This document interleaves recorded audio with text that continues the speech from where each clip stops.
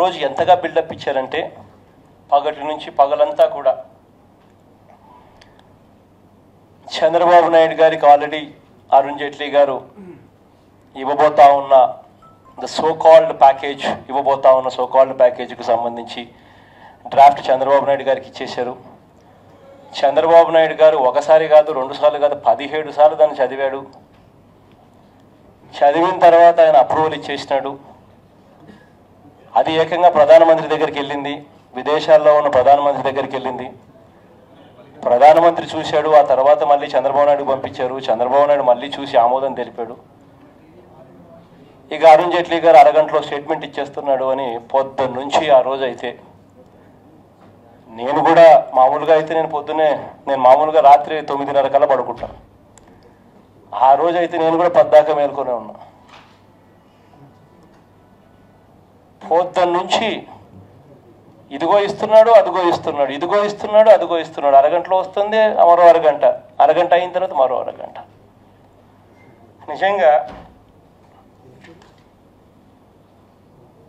చివరకు చూస్తే ఆ ప్రెస్ స్టేట్మెంట్ చూస్తే ఆయన మాట్లాడిన మాటలు చూస్తే ఆయన కొత్తగా ఏమీ చెప్పల. కొత్తగా ఫలాన్ని ఇస్తున్నాను నేను అని ఏమీ చెప్పలే. పైగా కేటగారికల్గా ప్రత్యేక హోదా ఇవ్వబోము అని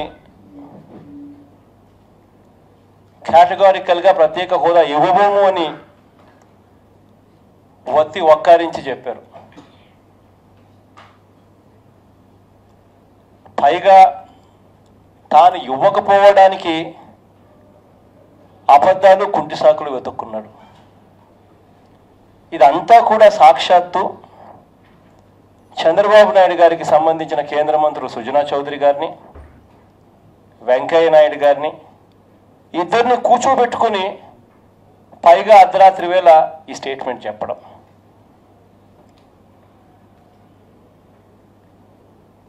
బాబు గారేమో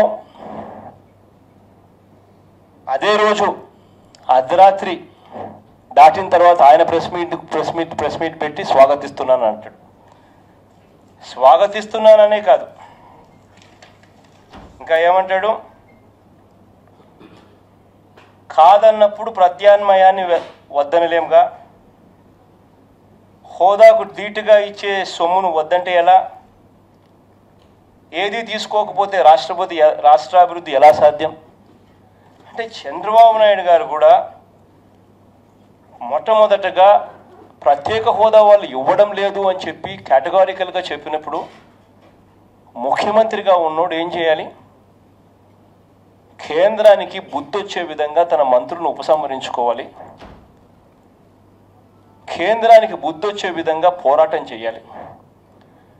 మా హక్కిది రాష్ట్రాన్ని ఆ ఆ రోజు విడగొట్టేటప్పుడు మాకు ఫలానిది చేస్తామని చెప్పి మీరు మాకు మాటిచ్చి అధికార పక్షం ప్రతిపక్షాలు అన్నీ కలిసి మాకు మాటిచ్చి ఆ రోజు రాష్ట్రాన్ని విడగొట్టారు.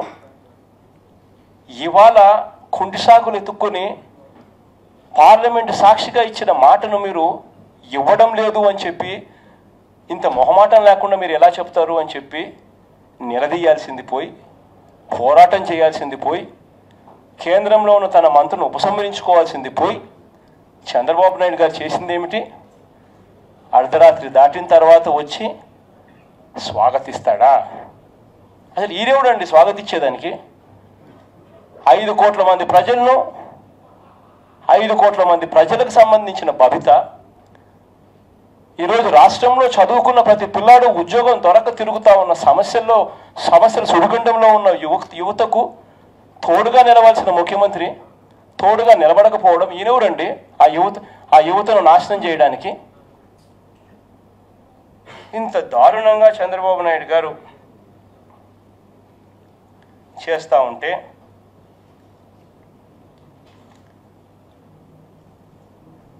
ఎందుకు చంద్రబాబు నాయుడు గారు ప్రశ్నించలేకపోతా ఉన్నాడు ఎందుకు చంద్రబాబు నాయుడు గారు నిలదీయలేకపోతా ఉన్నారు?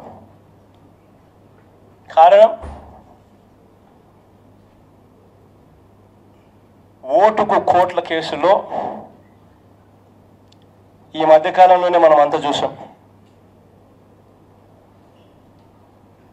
ఏసీబీ కోర్టు ఎప్పుడైతే ఈయన పాత్ర మీద విచారణ చేసి రిపోర్ట్ ఫైల్ చేయమని ఎప్పుడైతే ఆదేశాలు ఇచ్చిందో అప్పటి నుంచి డ్రామా స్టార్ట్ అయింది. వెంటనే చంద్రబాబు నాయుడు గారు కేంద్రంతో బేరసారాలు. కేంద్రం వాళ్ళు ఇవ్వకపోయినా కేంద్రం వాళ్ళు వెళ్ళిపో అన్నా కూడా చంద్రబాబు నాయుడు వెళ్ళే పరిస్థితి లేదు. వాళ్ళు కాలు పట్టుకొనైనా సరే వాళ్ళతోనే కొనసాగాలి. వాళ్ళు ఏమీ చేయకపోయినా రాష్ట్రానికి వాళ్ళతోనే ఉండాలి. వాళ్ళు ఏమి ఇవ్వకపోయినా వాళ్ళు వాళ్ళతోనే ఉండాలి. కారణం ఆయనకు ఎమ్మెల్యేలు కొనేందుకు కోట్ల రూపాయలు వెచ్చిస్తూ నల్లధనంతో ఇస్తూ నల్లధనం ఇస్తూ ఆడియో టేపులు వీడియో టేపులతో దొరికిపోయిన పరిస్థితుల్లో చంద్రబాబు నాయుడు గారు ఆ కేసుల నుంచి బయటపడేందుకు ఐదు కోట్ల ప్రజలను వెన్నుపోటు పొడిచాడు. ఉద్యోగం కోసం ఎదుగుతున్న యువతను వెన్నుపోటు పొడిచాడు. తన స్వార్థం కోసం రాష్ట్రాన్ని తాకట్టు పెట్టాడు. ఇటువంటి వ్యక్తి స్వాగతిస్తున్నాను అని చెప్పే ఇటువంటి వ్యక్తి రాష్ట్ర ప్రయోజనాలను తాకట్టు పెట్టిన ఇటువంటి వ్యక్తి తన స్వార్థం కోసం ఇటువంటి వ్యక్తి వెంటనే రాజీనామా చేయాలని డిమాండ్ చేస్తా ఉన్నాం. కేంద్రంలో తన మంత్రులు వెంటనే ఉపసంహరించాలని డిమాండ్ చేస్తా ఉన్నాం. రాష్ట్ర ప్రజలకు వెంటనే క్షమాపణ చెప్పాలని డిమాండ్ చేస్తా ఉన్నాం. ఈ డిమాండ్లు చేస్తూ అసెంబ్లీలో చంద్రబాబు నాయుడు గారిని గట్టిగా నిలదీస్తూ ఉంటే కని విని ఎరగని పద్ధతిలో తెలుగుదేశం పార్టీ వారు స్పీకర్ గారు ఇద్దరు కలిసి చంద్రబాబు నాయుడు గారు స్టేట్మెంట్ ఇస్తారట అంటాడు. ఎన్నిసార్లు అండి స్టేట్మెంట్ ఇచ్చేది? నిన్న రాత్రి అరుణ్ జైట్లీ గారు స్టేట్మెంట్ ఇచ్చిన తర్వాత టీవీ ముందుకు వచ్చి అందరూ చూస్తూ ఉండగానే స్వాగతిస్తున్నానని చెప్పి స్టేట్మెంట్ ఇచ్చాడు. స్టేట్మెంట్ ఇచ్చిన దానికి మేము కోపంగా ఉండి నువ్వు రాజీనామా చేయాలని అడుగుతా ఉంటే కోపంగా ఉండి నువ్వు క్షమాపణ చెప్పాలని అడుగుతా ఉంటే మళ్ళీ అసెంబ్లీలో స్పీకర్ గారు ఆయన చేత స్టేట్మెంట్ ఇప్పిస్తారట. దానికి ఆ తెలుగుదేశం సభ్యులు చప్పట్లు కొట్టాలట ఎక్కడండి డెమోక్రసీ ఈ వీడియో నచ్చితే ఓ లైక్ కొట్టండి లేకపోతే కామెంట్ చేయండి బట్ సబ్స్క్రైబ్ చేయడం మాత్రం మర్చిపోకండి.